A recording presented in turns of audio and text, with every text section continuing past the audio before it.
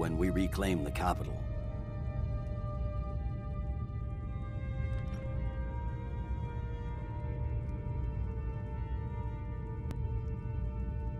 You'll be doing whatever Rikke tells you to do.